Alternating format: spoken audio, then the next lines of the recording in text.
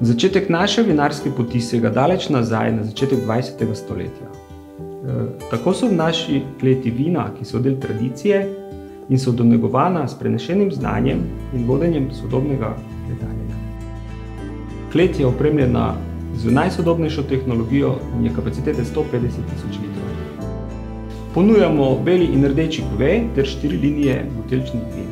Linija Senzum so bela aromatična vina, linija Victoria, to so rdeča in roze vina, linija Aurelia, so bela elegantna vina, ter Nobiscu, linija Barik vin, poimenovali smo jih Lightwood in Dark